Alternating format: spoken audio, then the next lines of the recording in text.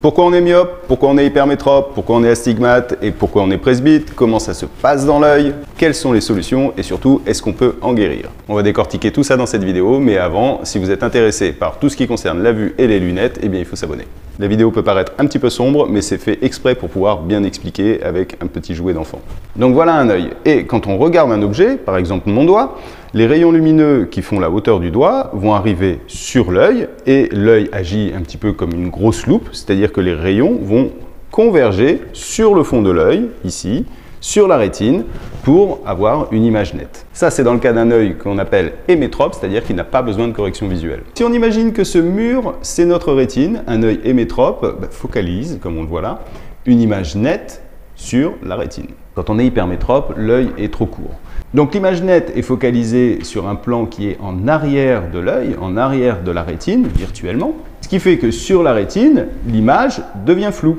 Alors là, on matérialise ici la rétine par une feuille de papier. Mais l'hypermétrope a la possibilité, entre guillemets, d'accommoder, de forcer sur la puissance de son œil, un petit peu comme quand on regarde de près, on force et on augmente la puissance de son œil, pour rétablir une vision nette. Donc en général, l'hypermétrope voit bien clair. Enfin, ça dépend de son âge, puisqu'on va dire que la puissance de, l'œil, la, possibilité d'accommoder de l'œil diminue en fonction de l'âge. À savoir qu'à 20 ans, on a déjà perdu la moitié de ses capacités et que c'est pour ça que entre 40 et 45 ans, on commence à avoir des difficultés pour lire, mais ça c'est la presbytie et on le verra à la fin. Donc l'hypermétrope, selon son âge, quand il est jeune par exemple, voit clair, mais au prix d'un effort. Effort qui peut provoquer des maux de tête, la sensation d'œil qui gratte, les yeux rouges, et ça se compense très facilement. Selon le degré de l'hypermétropie, on aura une puissance de verre différente ou de lentille.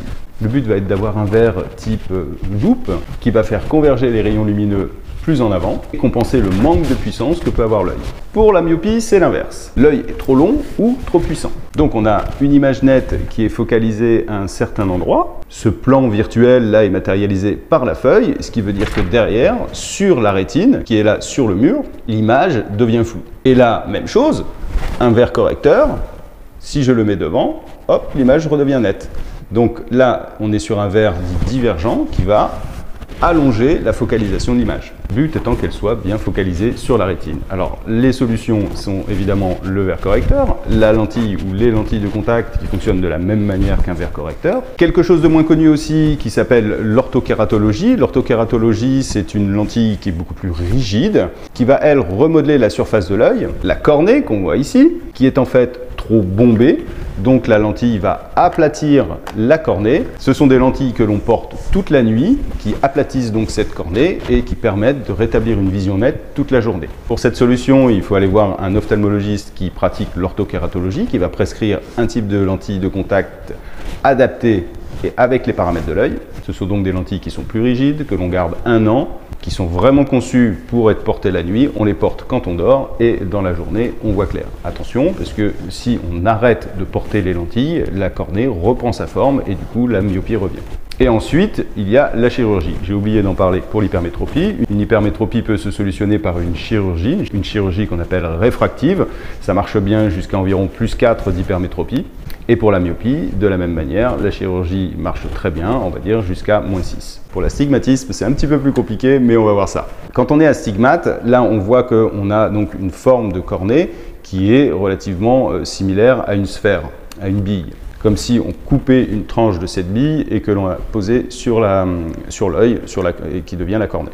Quand on est astigmate, cette cornée n'a pas une forme sphérique, elle n'est pas ronde, c'est pas une tranche de bille, mais plutôt comme un œuf. Un œuf n'est pas rond. Ce qui veut dire que selon la pointe de l'œuf, on va dire, on va avoir un axe d'astigmatisme et une puissance différente entre la pointe et son opposé. Donc dans un méridien, on peut avoir une image qui se focalise ici et dans l'autre ici derrière, ce qui provoque une tache. Et là, le flou se fait ressentir autant de près que de loin.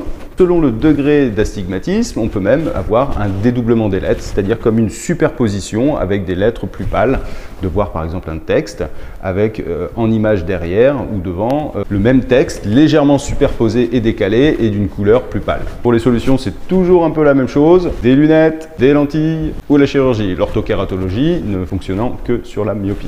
Si on est myope et astigmate, ça fonctionne. Mais dans la vie, quand on est astigmate, en fait, l'œil force pour essayer de rétablir un uniformément flou. C'est-à-dire que si j'ai deux points, on va dire comme ça, et que ma rétine, c'est mon visage.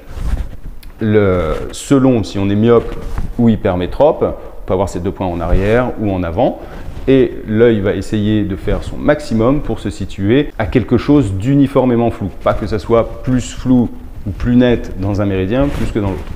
Et maintenant, la presbytie. La presbytie qui intervient après 40-45 ans, qui est physiologique, qui touche tout le monde. C'est juste en fait que l'œil, quand on regarde de près, on fait un effort. Et bah, au bout d'un moment, cet effort devient trop compliqué, trop dur à faire.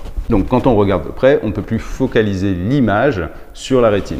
On se retrouve donc à avoir des difficultés pour lire, on rajoute de la lumière, et là, on a différentes solutions. Donc si on n'avait pas besoin de lunettes avant, juste des lunettes de près si on veut lire, qui sont calculées pour une distance d'environ 40 cm. Si on fait de l'ordinateur, là, lui, il est situé un petit peu plus loin, souvent entre 60 et 80 cm, on aura besoin d'une autre puissance. Et si on portait une autre correction avant, qu'elle soit myope ou hypermétrope, avec de l'astigmatisme ou non, on peut opter pour le verre progressif qui lui va avoir une puissance dans le haut du verre qui va correspondre à la vision de loin. Plus on descend dans le verre, plus on aura une puissance qui va augmenter pour pallier à, à ce défaut de vision de près. S'il y a des questions, les commentaires sont évidemment ouverts. Même chose si vous voulez que je parle de quelque chose en particulier sur l'œil, la vue ou les lunettes. Et si vous avez trouvé ça sympa, si vous avez appris quelque chose ou compris quelque chose, je vous encourage vivement à vous abonner.